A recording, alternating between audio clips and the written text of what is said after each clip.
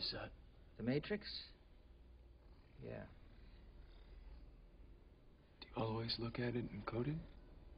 You get used to it. I, I don't even see the code. All I see is blonde, brunette, redhead.